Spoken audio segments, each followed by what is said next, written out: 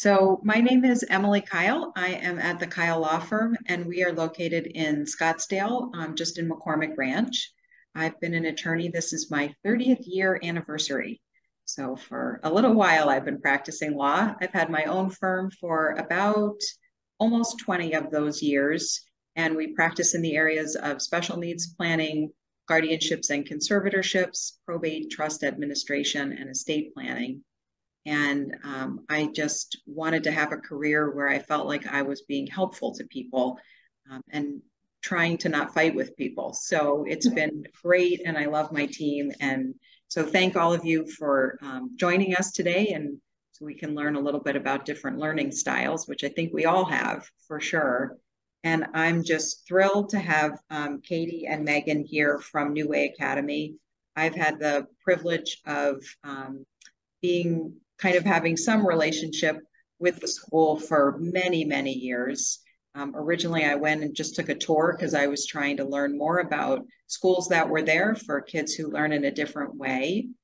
And then I've had the honor of doing some education programs on guardianship and transition planning and being involved in the transition fair, which I have to say that, at least from my experience, the kids that go to New Way are the most polite, respectful young adults that we have met.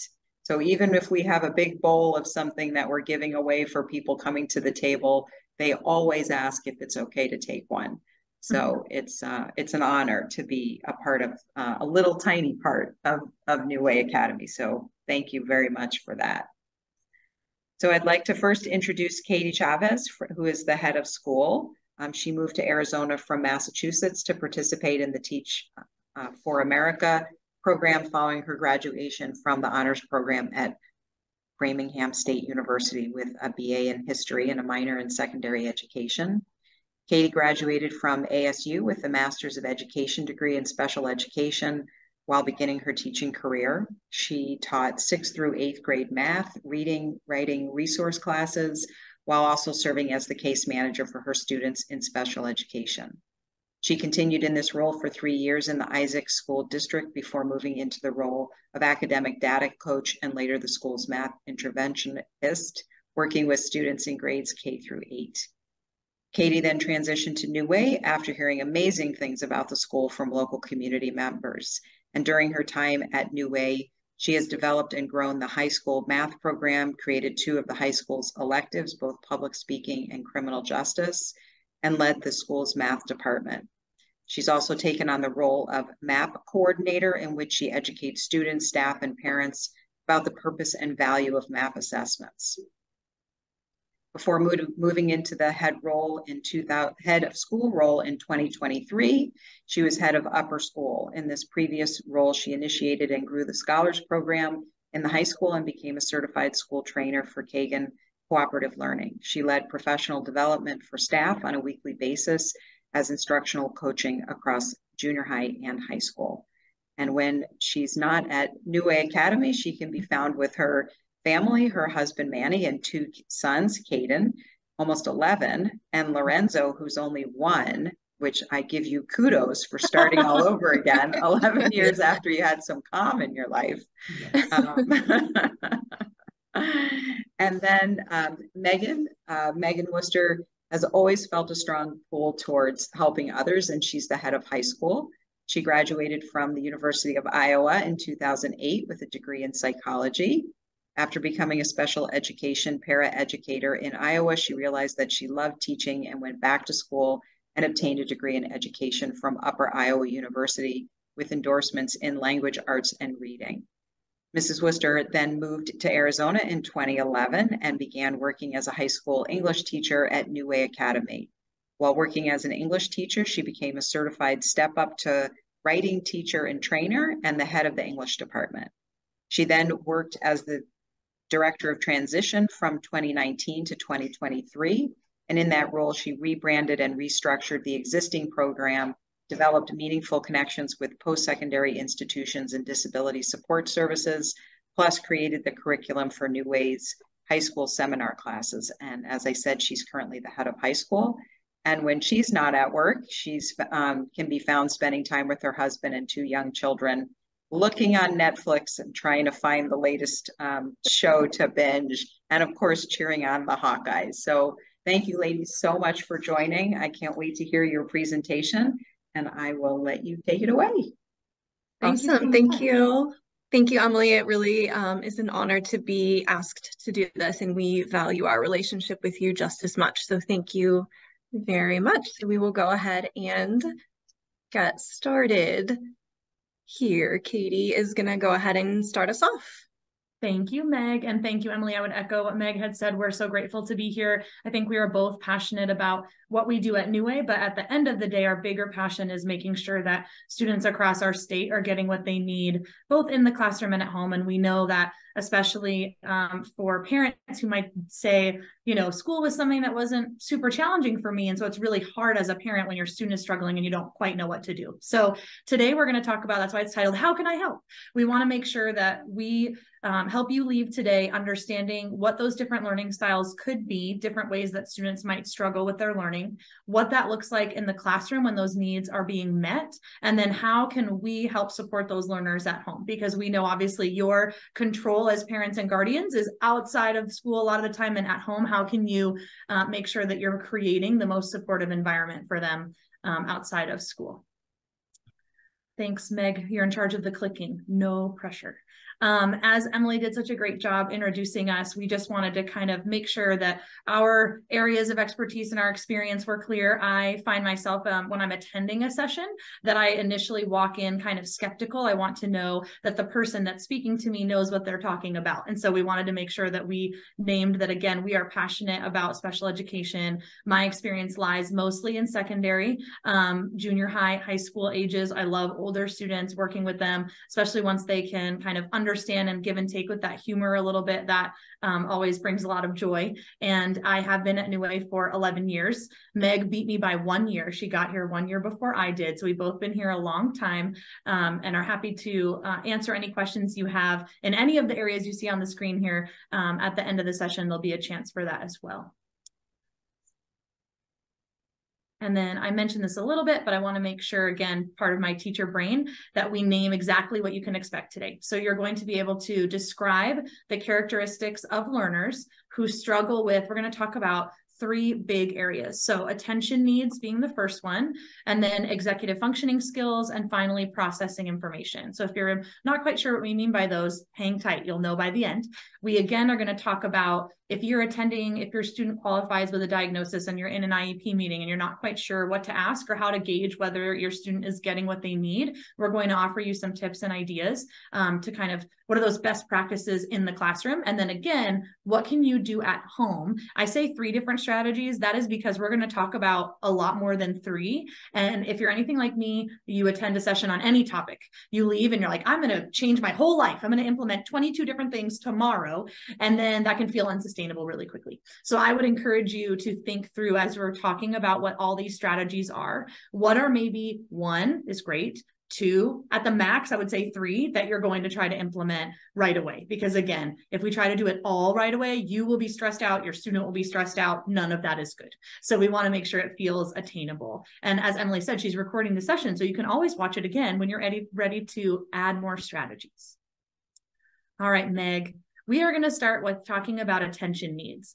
And I put a lot on the slide because, again, I'm a visual person. As I'm speaking, I want you to also have something that can anchor your attention besides just me. And so you can reference back to what I'm saying a lot of times when we think of attention needs in the education world, that is reflected with a diagnosis of ADHD However, we know that students, whether they have ADHD or not, struggle with sustaining attention at some times. So the difference would be if your student has a diagnosis of ADHD, in order for that to happen, that means that that difficulty with sustained attention is happening in multiple settings. So their teachers are seeing it at school, you're seeing it at home, it's happening maybe when they're in sports practice or when they're, doesn't matter if they're interested in something or not, it's really hard for them to sustain that attention. And it's a medical diagnosis when these strategies and best practices those apply to those students absolutely. But i often think about my student my 11 year old now. Um, he doesn't have a diagnosed learning need. He still struggles when it's time to do homework with sustained attention. So all of these things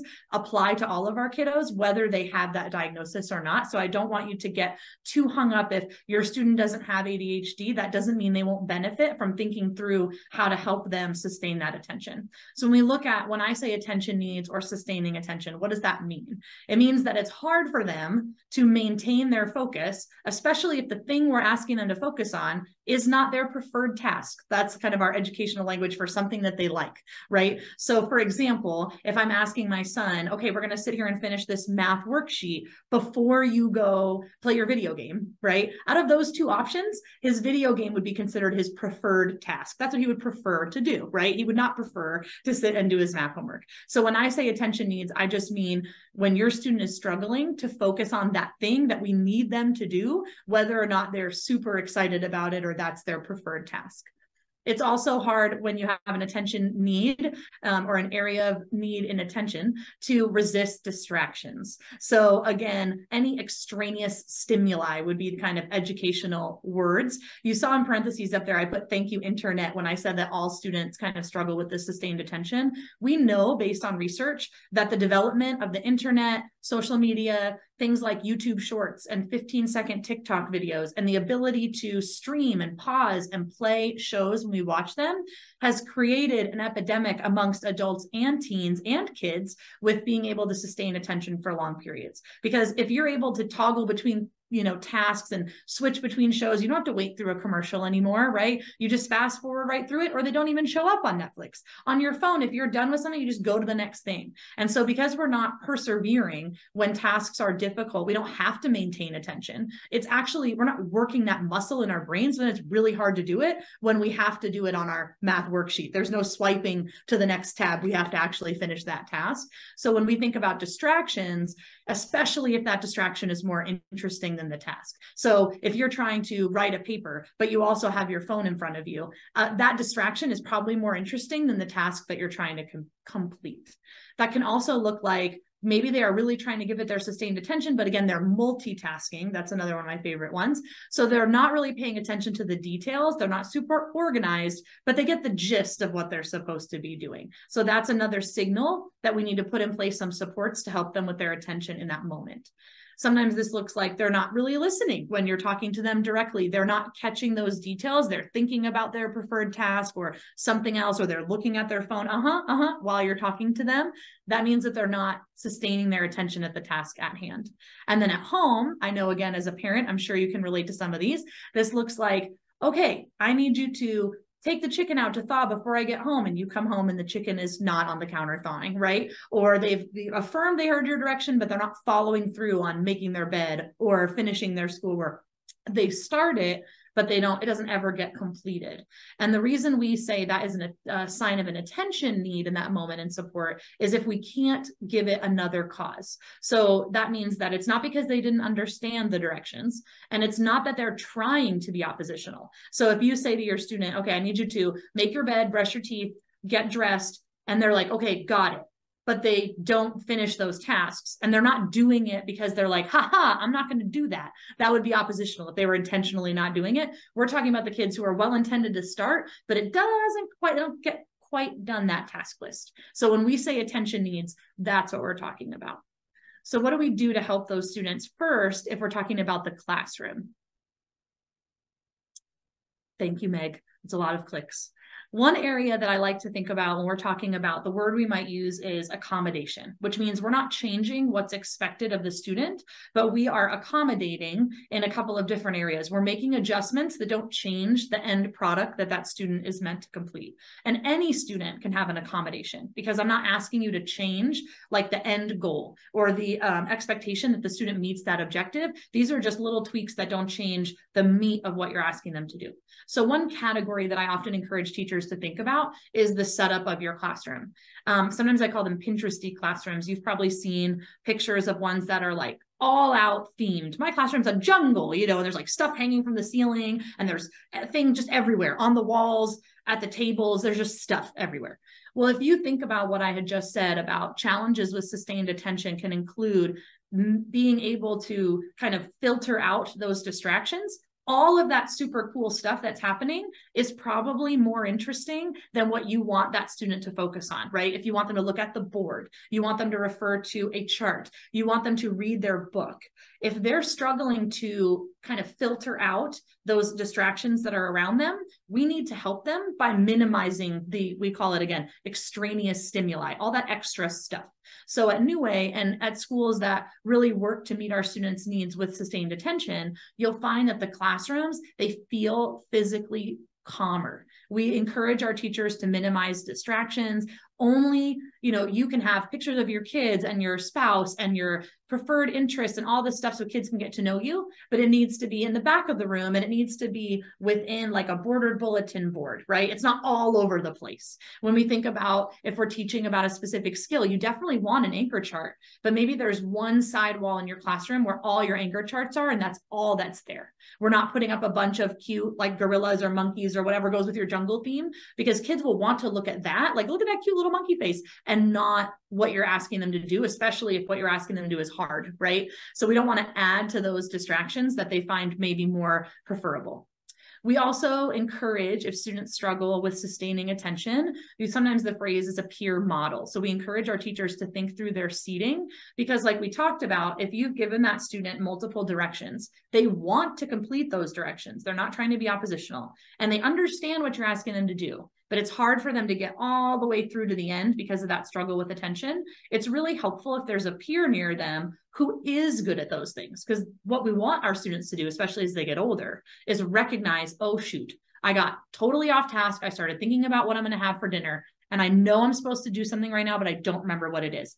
Hey, Bob, what am I supposed to be doing right now? Right? You want that peer model that can help them so that it's not always they're on an island or they're always asking the teacher. Because at a school like New Way, where our classes are smaller and we build that rapport with our teachers and our students, sure, they might feel comfortable asking their teacher. But students that can, you know, go to like a larger school and there's 30 students in the class, the teacher is not always available and it's not always, they're not always going to feel comfortable asking their teacher for help, right? That's also a transferable skill that they can use in the real world, right? I can think of coworkers that if I missed an email, I would go ask them because I know they've read it and probably highlighted it and put it in their planner what we're supposed to do over the next few days. So those are the ones I'm going to go to and ask. We want our kids to start developing who are those students that I can ask for help. There's nothing wrong with that. I'm still going to meet that objective. I might just need to go about it a different way and get a little bit extra support.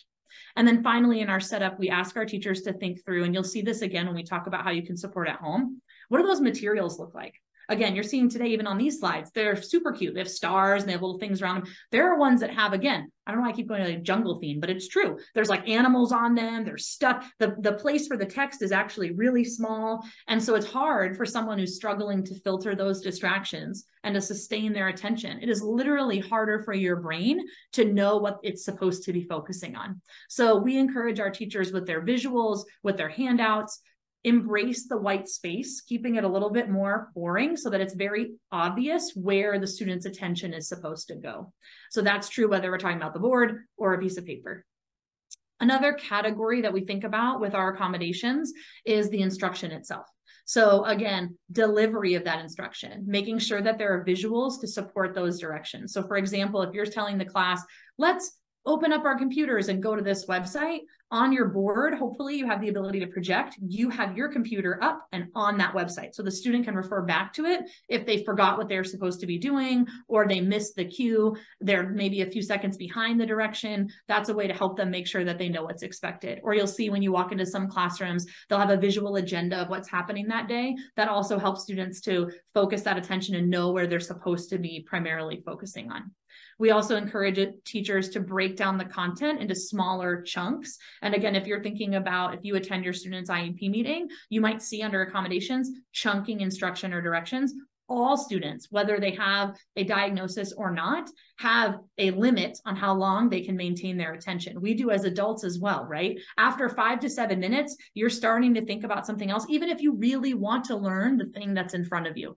We call it riding the crest of the wave. How can you provide the student with something to do, something to talk about, getting up and moving some way to create that chunk and move it out of working memory so that it's clear for the next chunk of information. So that's why chunking is so important. Um, and then we also use, you might have heard in my bio, we use Kagan Cooperative Learning, which is a structured opportunity for students to interact and again, kind of chew on that material that they learned. Whether it's Kagan Cooperative Learning or another kind of curriculum or strategy, we always encourage our teachers um, that we meet with from other schools to learn about cooperative learning because it's really impactful for our students. We also know in a classroom that pacing is really important. So that just means how quickly the teacher moves through the material. So you'll see this is something that comes up in a couple of our other sections as well, but encouraging teachers to take the time to make sure that students are really understanding before they move to that next chunk. Adjusting your pace, taking longer. We often use the phrase depth over breadth. That's so important. And then finally, output.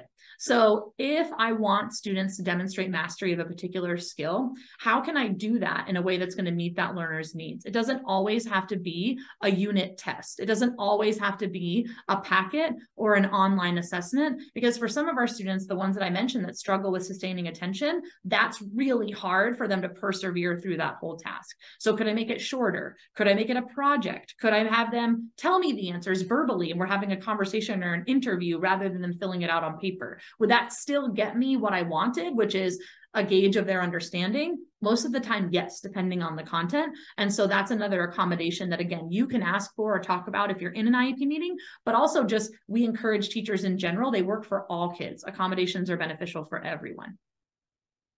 And then finally, this is one that's um, I found challenging with teachers that are used to doing it kind of a certain way. But students that have issues with sustained attention can sometimes be interpreted as oppositional. And like we talked about, that doesn't, that's not the same thing. Having a hard time being able to pay attention and maintain that attention throughout is a task to completion, is not the same thing as not wanting to do it. So we really focus on at New Way and a lot of teachers in the field focus on that positive piece. So you saw that um, at the bottom, that little logo, PBIS rewards. So PBIS is a school of thought um, positive behavior interventions and support. And it's the idea that best practice in education is to focus on the behavior that you want to see rather than naming and consequencing the behavior that you don't want to see. So if I said to the class, okay, everyone, take out your pencil, and eight kids have done it, and a couple of the kids have not yet, I'm instead of saying, Johnny, get out your pencil, right? And calling him out in front of the whole class, I'm saying, wow, Emily, thank you so much for getting out your pencil. That's a point. Oh my gosh, Trevor, great job getting your pencil out so quickly. And then Johnny's like, oh yeah, my pencil, right? So I get the same result. The, the students that don't have their pencils out now have them out, but I haven't had to like publicly shame anyone or damage my rapport with them. And I've incentivized those kids that are always doing what they're supposed to be doing. They're getting like that little shout out as opposed to losing my attention because I'm focused on the students that haven't yet met my expectation. So that's PBIS in a nutshell. We also um, encourage our families and our teachers to focus on how that behavior is addressed. A lot of times students with challenges with attention, they're also impulsive. A lot of times those go hand in hand. And so they're saying a bunch of things because they're uncomfortable with the fact that they're getting called out on their behavior. And so we use a strategy called ignore the noise. Like I've told you the expectation, you are continuing to talk. I'm going to walk away and come back because I just need to see that you've done that behavior that I asked you to do. Um, and so that's again a strategy you could even even look it up. Ignore the noise, ADHD. That's one that again would help at home as well.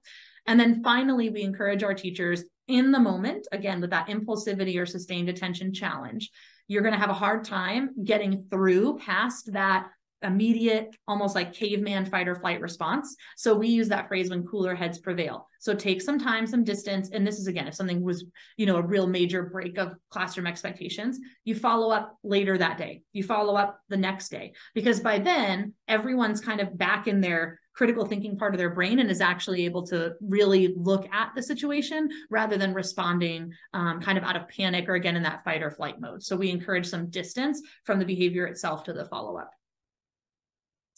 So how can you help students at home who struggle with attention?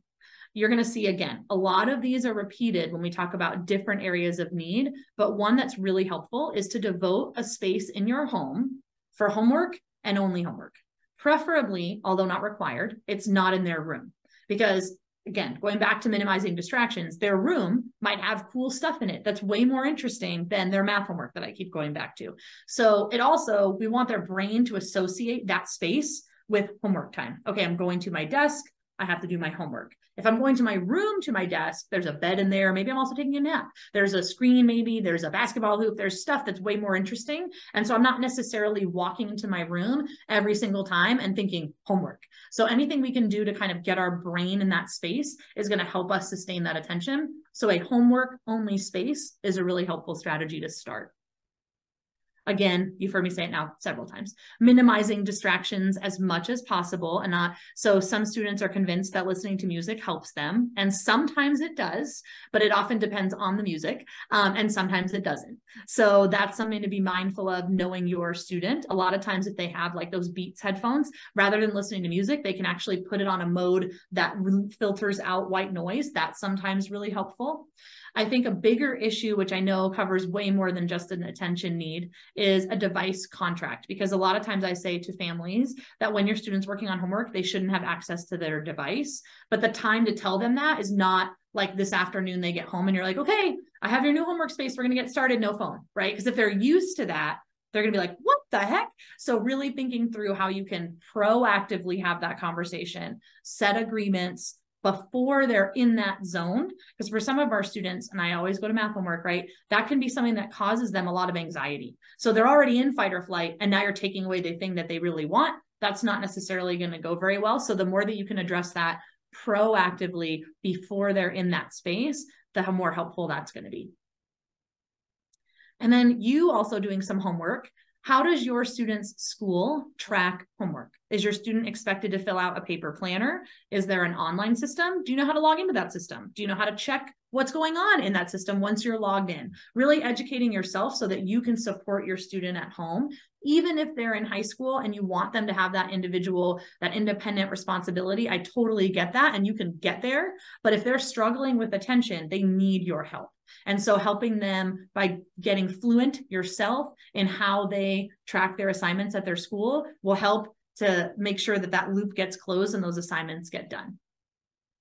So one way to do that, if you're able to log in, for example, if it's an online system, the start of homework time, you're meeting with your student, they're pulling it up on their computer or device. If you're pulling it up on yours, you're talking through each one and you make a checklist of what they need to do that day. Something that is like daily assignments. And then a lot of students have an ongoing assignment, right? Like maybe they have a reading log that's due at the end of the week. They have to read 20 minutes each night. Add that 20 minutes to their checklist, right? We're not going to add their reading log that's due at the end of the week to the checklist. It's just one chunk. Tonight, we're going to read 20 minutes. Tonight, we're going to do the first slide of your project. So you really helping them to break that assignment down into chunks and adding it to that checklist is also going to help because sometimes, and Meg will talk about this a little bit in her executive functioning piece, but with sustained attention, part of the challenge is also what does the finished product even look like? It feels so far away. And then they just give up. So being able to help them chunk it and adding that to a checklist that they can check off or that they can erase when they finish each item, it makes it really concrete for them and they can see that visual progress. Like, oh my gosh, I got this done. Oh my gosh, I got this done. I would also suggest, and again, before you do this for the first time, thinking through what breaks could look like. If your student is spending a lot of time on homework, like I said about riding the crest of the wave, if it feels like an endless you know adventure of solitude. They're just doing homework for hours and hours. That's going to really affect their ability to do it and also probably their overall affect. And so working with that student setting a timer you know you work on this for 20 minutes you can take a break.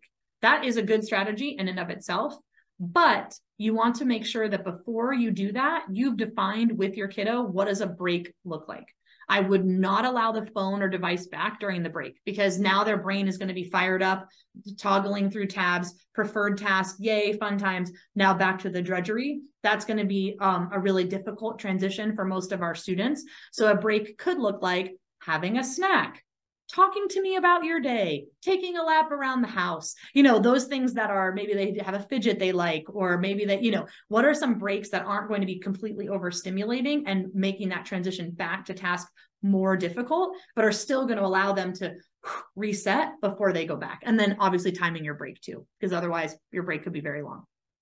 And then at your IEP meeting, if that's something that applies to you, you can also, you know, request, could my student have shortened assignments or less problems? So a lot of times in math, if we're, you know, factoring trinomials at the high school level, if my student can do that in five problems, could that still count instead of having them having to do all 20? And a lot of times that's a really common accommodation that schools are happy to give because it doesn't change, again, the benchmark. They're still doing that thing, in this case, factoring trinomials. They just don't have to do it as many times because for them, it might take them longer to get through that.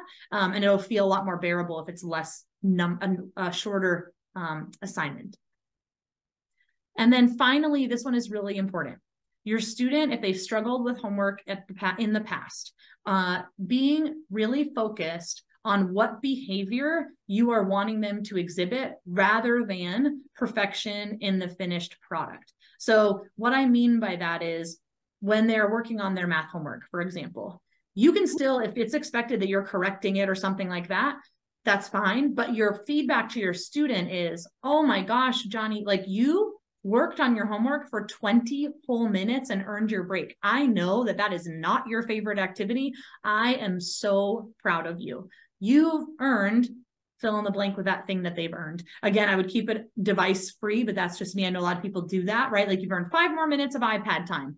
That could be a, an incentive. Maybe they just want to play catch with you outside. That could be the thing that they earn from doing such a great job meeting your expectations. Again, with the behavior of persevering through and completing that homework. Because for some of our students, growth mindset is something that we really want to develop. They have a fixed mindset I'm not good at school, I'm not good at this. And so the more that you can help them have a growth mindset about those behaviors and really reward them for doing the behavior of learning or working on their homework, the more successful they're going to be and the better they're going to feel about it. Awesome. Thank you, Katie. So I'm going to talk a little bit about executive functioning and how we can support students who have executive functioning needs in the classroom and at home as well. I think Katie mentioned this earlier. You will see a lot of repetition, um, and that's very intentional because so many of our students who have an ADHD diagnosis or just struggle with attention, oftentimes those executive functioning struggles go hand in hand. So, what executive functioning is, it's a set of skills that we all kind of need to be successful at our job, at school, to be proficient kind of in daily life.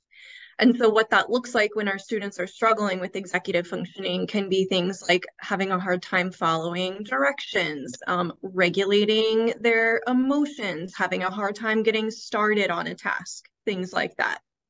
And what's really important to know about executive functioning is those skills are actually happening in our frontal lobe, in our prefrontal cortex, which is the very last part of your brain to be developed. And though that is actually not fully developed until people are in their early to mid 20s. And then when you have students who have ADHD or other kind of learning challenges or different diagnoses, those are likely things that they will continue to struggle with and will need to find something to kind of account for that. So we always talk about what tools can you use because organization might always be something that you struggle with, whether you're neurotypical or have some type of diagnosis in general. And so we always kind of talk with our teachers and our students about for now, we're kind of acting as our students' frontal lobe by reminding them and providing some of those tools in an environment where we are helping with some of those executive functioning skills. So if we have a student, and again, all students up until their early 20, early to mid 20s are going to struggle with executive functioning because that part of their brain is not fully developed. So whether they have ADHD or not, whether they have autism or not, it is normal for students to struggle with all of these things. I have two kids, one of which who is neurotypical and then one of which has an ADHD diagnosis. And I can look at this list and say like, oh, my daughter who doesn't have a diagnosis struggles with these things and my son struggles with these things. So I think these are um, often just helpful overall best practice for even the general education classroom and any students at home. So what this can look like is frequently losing materials. So we have students that their water bottle is just the thing that they never know where it is, or their families have had to buy 25 new water bottles in a school year because it is just constantly missing. And so having a hard time keeping track of their materials um, is something that we see a lot in our classrooms. Sometimes it looks like having a messy backpack or a messy binder or a messy bedroom or an, having a messy desk and then not knowing how to fix that as well, not knowing how to organize or tidy. Those are things that are often really tricky, not knowing what paper goes in what tab, not knowing how to organize their Google Drive documents properly. Um, that might be something that is lacking.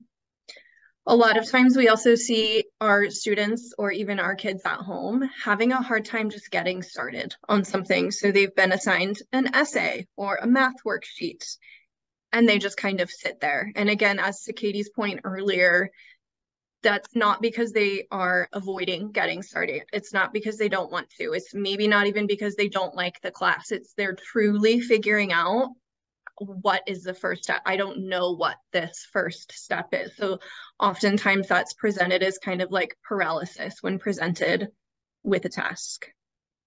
Following multi-step directions is something that's really tricky for students who are struggling with the executive functioning. Um, I know for my son specifically, our morning routine up until recently, and he just turned 11, was really, really, really hard. So it was, okay, we need to remember to brush our teeth and put our deodorant on and make our bed and feed the animals. And he would go do one thing and then he'd be back thinking that he was done. And again, it was not because he was being defiant. He was not avoiding. He just truly could not hold that many steps in his brain at one time. And that is pretty prevalent in both the home setting and the school setting as well. Um, time blindness is something that we hear a lot from our the parents of our students. And so they have no idea how long it takes to drive to school. They have no idea how long they're actually in the shower for or how much time they're spending on technology or even kind of that planning like how okay i have to do this worksheet. How long is that going to take they do not have a good concept of that they might think they're taking a five minute shower and then when they realize they've been in the shower for 45 minutes, they're like, oh my gosh, I had no idea how long that was going to take. Um, our students who have a lot of missing assignments, often because of executive functioning struggles. Sometimes it's because they did the assignment and forgot to turn it in. Sometimes it's because they weren't aware of the due date. They couldn't remember what the due date was. Um, it's that one is for all sorts of different reasons. Sometimes they can't remember the steps it takes to submit an assignment. Sometimes it means they've lost the paper. Sometimes it means they lost the planner where they tried to track the deadline, but that materials management piece kind of comes into play as well.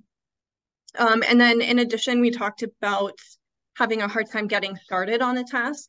Sometimes that's not the hard part for a student. Sometimes they're able to get started right away and then perhaps they don't finish or they get distracted by something and then we never see that assignment again or it's half done and completed and so that follow through that kind of making sure that you've met assignment expectations or put thought into the details that go into that is something that can be really difficult for our students that struggle with those executive functioning skills. Um, planning and prioritizing is something that can be hard as well. So, okay, I have math homework. I have to read for 20 minutes. I have to take the trash out. I have to feed the animals. Um, I don't know where to start first. So that checklist that Katie was talking about when we were talking about attention needs, those things go hand in hand as well. So figuring out I have this assignment that's due tomorrow, but I also have my reading log and I'm supposed to read 20 minutes and I have this long-term project. Like I have no idea where to start or what to start with first because being able to kind of rank the importance or the urgency of things um, is something that is just a skill that some of our students don't quite yet have. Um, and then the last one is that self-regulation. So being able to monitor in that moment their level of distractibility or if they're feeling stressed about something kind of how that is outwardly presenting and then what we can do about that to kind of get back on track. So as adults or most adults they're like gosh okay i'm feeling really stressed right now but i know it would be unexpected for me to like flip out at my coworkers because i'm feeling that stress. That's actually an executive functioning need. So when you have students in the classroom that are having outbursts or are overly fidgety or blurt something out or just kind of get up and walk across the room to sharpen their pencil 15 times. That's because they are lacking the skills to be able to kind of regulate their emotions and their body and then do whatever the task is that they need to do. So we could talk probably for like five hours about executive functioning skills. So I, I, just want to name that the, the best practices that we're talking about for school and home. This is by no means a comprehensive list. We just kind of wanted to hit on some of the points that could are easiest to kind of um, integrate right now, or like Katie said, for you to pick one, two, or three things for your classroom or for home that you could start doing right now. And Katie talked a little bit, excuse me, about this one as well, and that is chunking directions. So that means giving students one thing at a time that they can focus on. And then after they've completed that task, then giving the next one. And that looks lots of different ways. So that could be verbally and or in writing.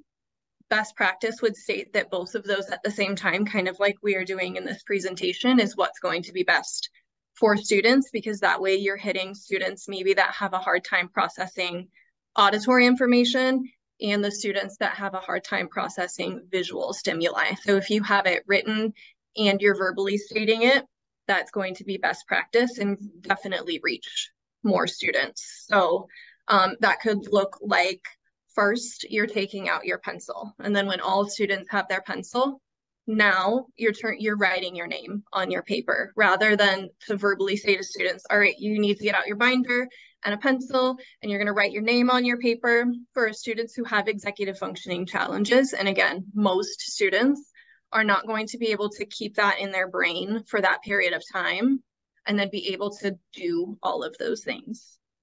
Um, chunking directions is also something, you know, when you have a student who is completing a project or an essay or an assignment with multiple steps, even if all of the steps are there, them being able to pick out what they do first, what they do second, what they do third, is really, really difficult for a lot of students. So helping them identify, okay, this is what I do first.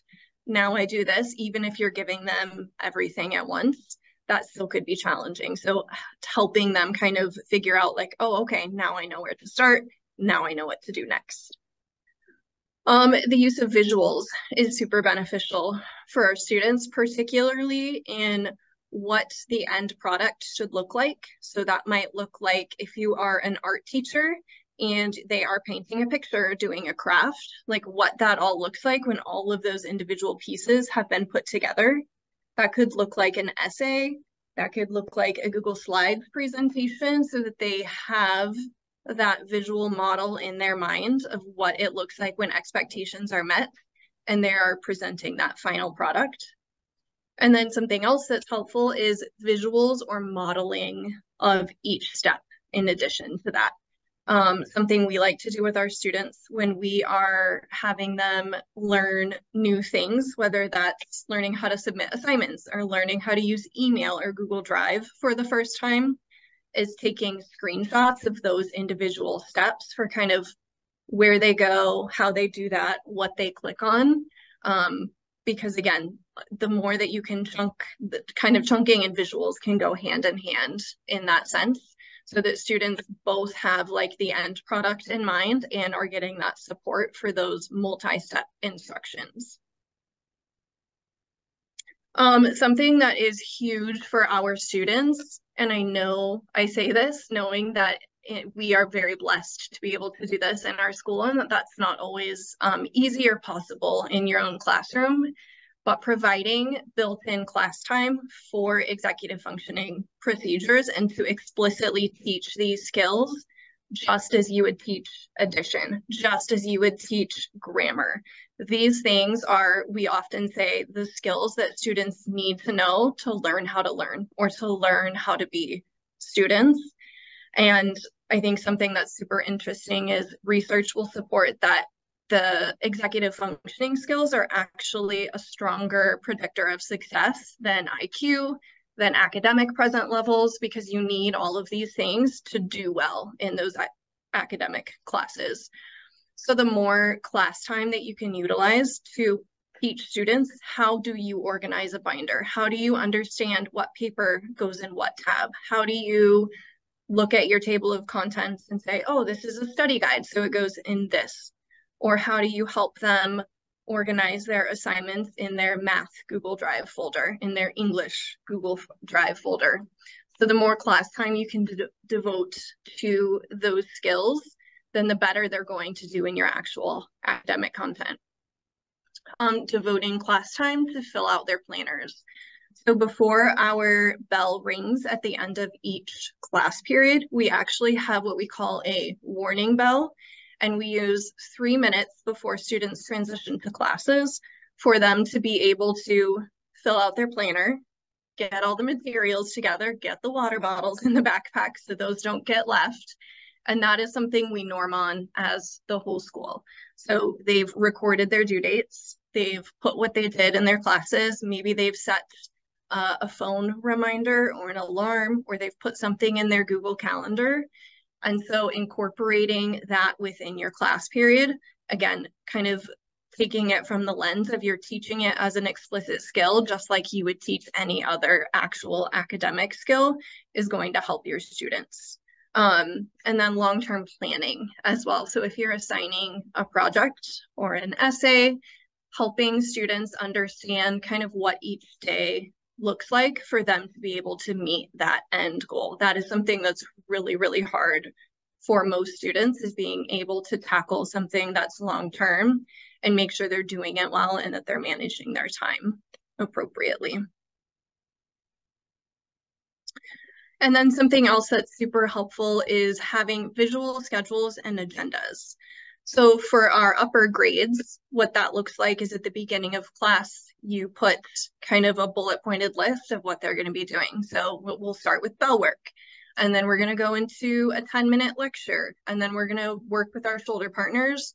And then you're going to take an assessment at the end um, that looks like a full day for the lower grades. So what's there, that, that schedule being posted somewhere, because some of our students who struggle with executive functioning, they have trouble going from task to task or transitioning classes, transitioning to a new assignment, a new project that they're working on.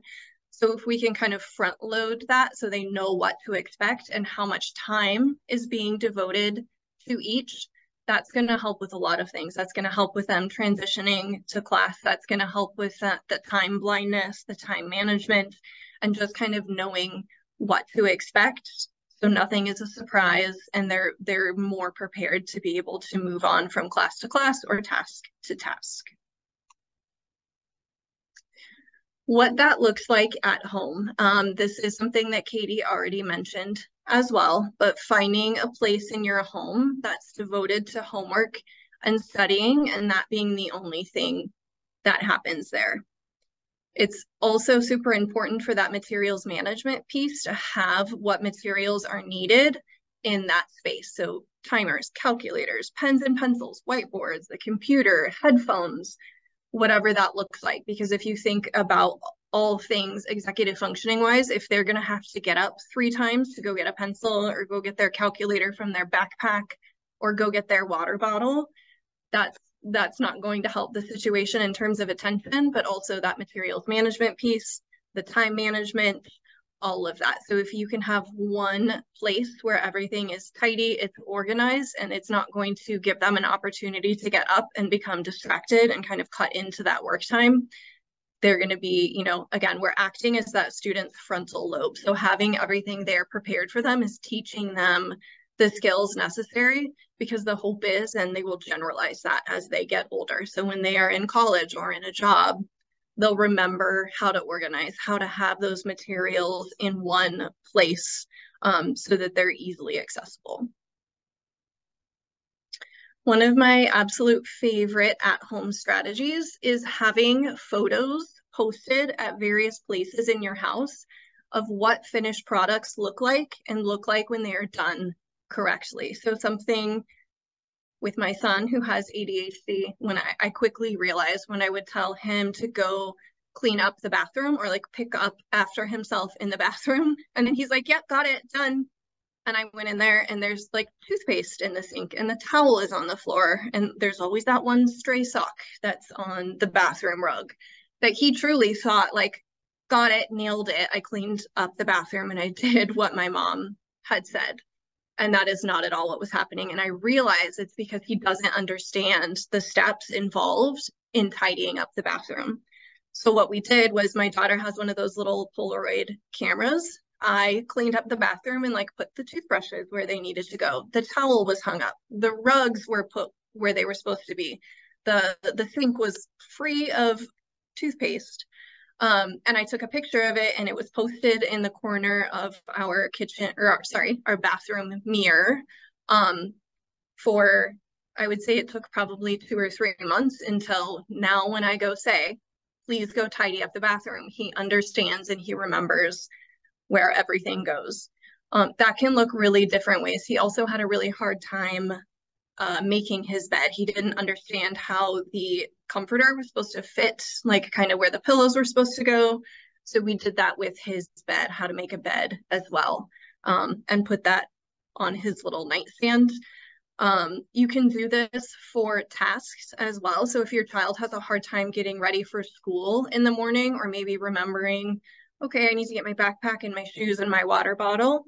You can take a picture of them standing by the front door with their backpack, with their water bottle, with their shoes, with their jacket, and post it by your front door as well. Um, you can do that with a desk that's been organized if you want them to work on doing dishes or putting the dishwash, putting the dishes away, organizing anything. It's a super helpful um, tip that takes you kind of, you're still acting as your child's frontal lobe, but it's taking some of the legwork out of it as well because they have that visual that's going to support them in, oh, okay, now I remember those steps. Um, something again that teachers can do in the classroom, you can do at home as well. So visual schedules and procedures at home as well. So if your student is having a hard time remembering, okay, on Monday I do the trash, on Tuesdays it's my day to do the dishes, having that visually posted somewhere again takes the expectation out that they're going to remember that independently it takes some of that at home tension where it's like gosh i tell you every monday that this is the day that you take out the trash it's going to improve that rapport and that parent relationship as well, which can be really powerful in strengthening some of these executive functioning skills. Um, morning and bedtime routines are often really difficult for students who have executive functioning challenges. So if you have the step, my son has a little whiteboard in his room that has his morning routine listed there as well. Um, it can look like steps to clean a bathroom, um, we also have a monthly calendar that's visible, a monthly whiteboard calendar, so that my kids remember when their practices are, when their appointments are, when mom's work schedule is, when dad's work schedule is. Because again, that's just going to help them with the idea that they'll hopefully be able to generalize these skills someday. We're explicitly teaching and modeling what that looks like.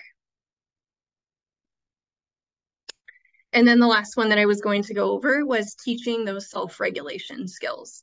For our younger kiddos, um, things like the game red light, green light, or Simon Says are really helpful in teaching students to kind of control that impulse or inhibit when they want to like do something and it it makes it fun. It takes the um like they don't feel like they're home, like i'm being taught at home like it's just a fun game.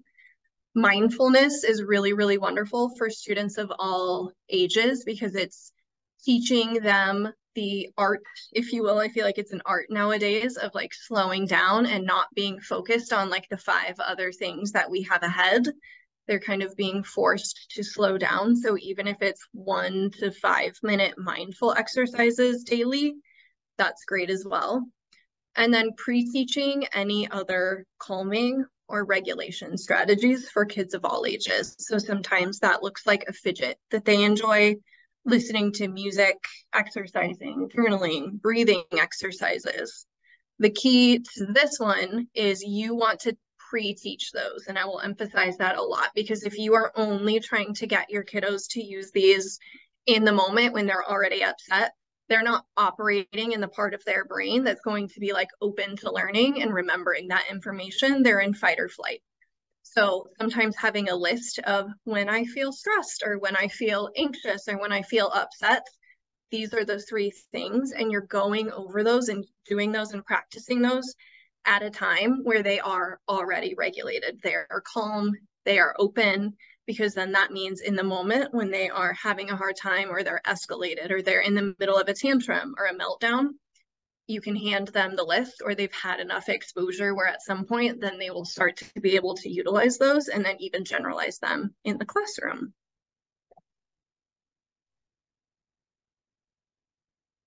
Oh, Katie, you're muted. Yep, sorry, a classic Zoom mistake. Um, I think we underestimated how much Meg and I can talk about each of the things that we uh, wanted to talk about today. So we don't really have time for the third one. We'll have to do a part two, I guess. Um, if you're interested in the mindfulness piece, I just wanted to name that um, the Headspace app is great. The Calm app is great. And then YouTube also has some short um, like videos that you can walk through with your student when you're pre-teaching those things. Meg, will you just skip a couple slides ahead to that last one about things that they can do yeah. at home? So I think it's up one more this way, one more back. Oh, sorry. That's okay. Oh, there it is. Um, because a lot of these again are really similar to what we've already talked about. Um, I think just to reiterate, as much as you can, you know, when you're helping at home, we don't want to set up an adversarial relationship with you and your kiddo. And so I think, you know, if they're into into sports, you can use that analogy of a coach and a teammate that you are there to help them. I think walk alongside them as much as you can. A lot of students at New Way, when they're reading a book in class, their parents will get the same book and read it at the same time. They'll read it together as a family. They'll do the audiobook, you know, kind of on their way to school in the morning. It can really be a source of bonding and connection for you and your kiddo if it's done kind of in that positive, supportive way.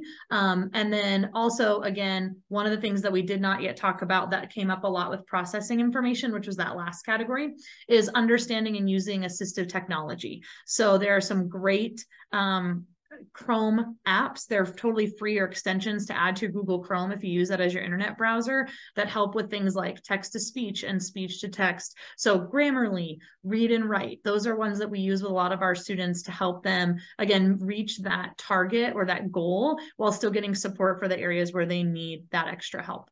Um, I just wanted to call out again at the bottom, you see it there in bold. All of these strategies have been mentioned more than one time. Um, and it doesn't matter if your student has a diagnosed need in any of those areas. Again, accommodations help all kids. So my student, my kiddo at home doesn't have a diagnosed learning need. He definitely has a checklist of his morning routine because otherwise I'm saying the same seven things over and over again. As Meg said, for anyone that's not in their mid 20s, I think with men it's probably late 20s, early 30s, um, they need someone to help them with their frontal lobe. And so the more that we can provide that support, the better. And um, I hope that at least some of these strategies were helpful for you today. And then finally, we did put together, if you want to take a screenshot, or again, obviously this is is being recorded, but some resources. Understood.org is absolutely phenomenal for anyone who wants to get to know or understand their students learning a little bit more. So it's broken out by area of disability. There are simulations so you can better understand what your student is going through if they have a particular diagnosis. There's a lot of resources for parents. There's a lot of resources for educators. There is the ADD or Attitude magazine. They also have a website that's absolutely phenomenal with a lot of resources for parents and a lot of resources for educators. And then Raising Special Kids, if you haven't heard, they're a great um, just kind of a parent training institute. They will help you with any questions you have about how to navigate a school eligibility process, or I'm struggling in this particular area. It's like a resource hub for other resources and parent training. So uh, there's a lot of great stuff out there. Um, and yeah, we hope that you got something useful out of today's presentation. If you have, any questions. Um, that's part of the reason I wanted to make sure we left a couple minutes if you had any questions you wanted to throw in the chat. I think that's on the last slide, Meg, the next one. Um, we just really appreciate that you are here today, um, taking a little bit of time out of your day to learn some things. So if you have any questions before we leave, please feel free to put those in the chat. So thank you guys so much. It was a fantastic presentation, as I knew it would be it's so interesting um, because I think so many of the techniques you're talking about are things that we also use in our everyday life, right? Mm-hmm. So you have a task at work for me, it's getting through 5,000 emails that I have to chunk. And I say to myself, okay, well, I'm going to do email from this time to this time. I'm going to see how many I get through. And then as a reward, maybe I'm going to take a trip around my office so I have an opportunity to get a little bit of a break and then move on to the next thing. So I think they're great, just overall techniques, but being mm-hmm. mindful that they're techniques we might use more automatically and helping kids to realize that that's a really great strategy to get through things. So, absolutely. Well said. yes, for sure. Thank you so much for this opportunity, Emily. We really appreciate it. Yes, thank you all. Enjoy the rest of the nice, cooler weather. And yes. we'll look forward to seeing you guys again soon. So thank you for your time. Thank, thank you. you. Bye-bye. bye bye